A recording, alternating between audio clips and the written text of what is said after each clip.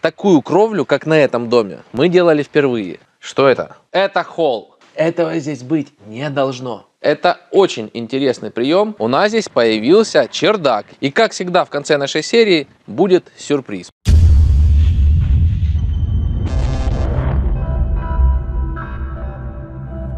Добрый день! С вами вновь я, Андрей Чирова, и сегодня мы проведем обзор дома, который мы построили в 2019 году.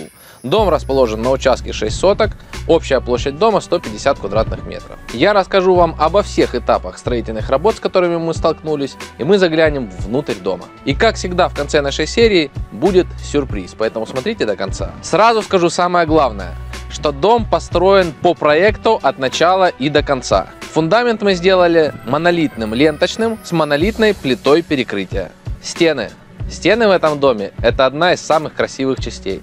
Они выполнены из забутовочного и облицовочного кирпича с утеплителем посередине. Причем заказчик выбрал дорогой кирпич, а это накладывает определенные ограничения на качество слоистой кладки. Кровля на объекте сложная и красивая. Финишным покрытием выбрана гибкая черепица. Утеплена кровля утеплителем толщиной 200 мм.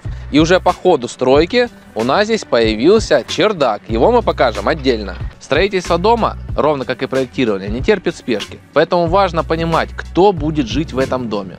Этот дом спроектирован под семью из четырех человек, двое детей и двое взрослых. Поэтому мы сейчас зайдем внутрь, я вам покажу, как там все устроено.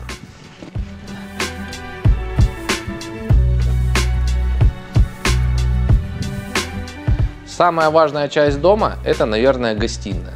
В данном проекте она реализована площадью 40 квадратных метров и она совмещена с кухонной зоной. Здесь есть два интересных момента. Первый момент – это камин, который захотел заказчик здесь сделать, и большие выходы на веранду.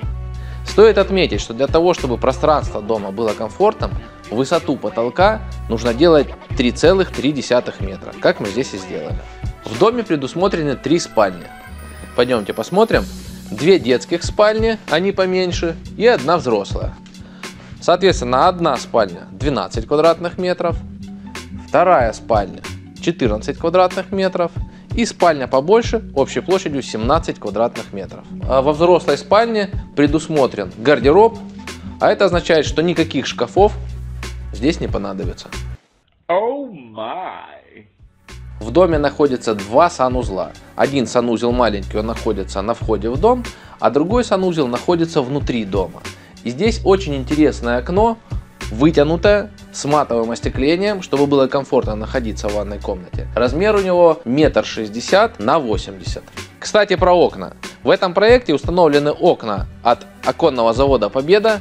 Я про него рассказывал в одной из своих серий, как выбрать окна для частного дома. Ссылочка на серию вот она. Толщина оконного профиля 76 мм и двойной стеклопакет. Это холл. И он огромный!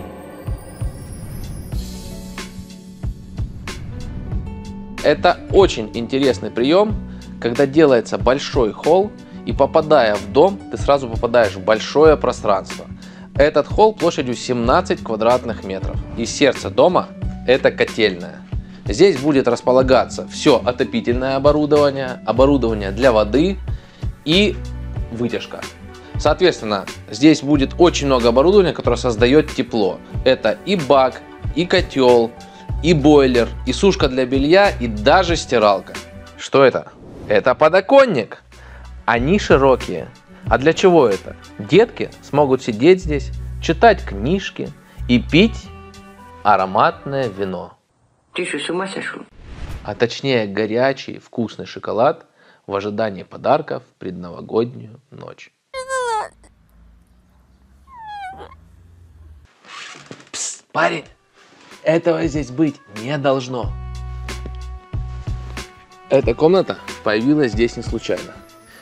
Мы увидели, что есть свободное пространство и предложили заказчику установить здесь мансардные окна и сделать эту комнату.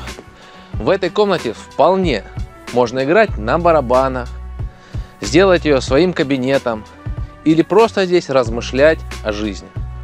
А мансардные окна, они всегда обеспечат свет и комфорт в этой комнате. Этот чердак теплый, потому что он утеплен и сверху, и снизу.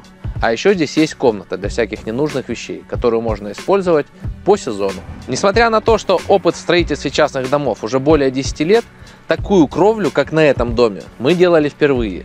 Достойная ширина короба, подшивка металлическим сайдингом и деревянные балки из клееного бруса, которые придают этой кровле особенный шарм. Поэтому, если вам понравилась кровля, ставьте лайк, оставляйте комментарий и еще пару слов об этом доме. Конечно же, здесь есть еще что делать. Это и забор, и навес, и внутренняя отделка, но уже сейчас нам нравится этот результат. Я вам обещал о сюрпризе сказать пару слов. Именно сейчас я вам предлагаю оставить свою заявку по WhatsApp, в Инстаграме, на Ютубе, и вы получите лично от меня скидку 5% на всю смету по строительству дома. И помните, что на канале Андрея Чирвы мы о стройке знаем. Все, пока!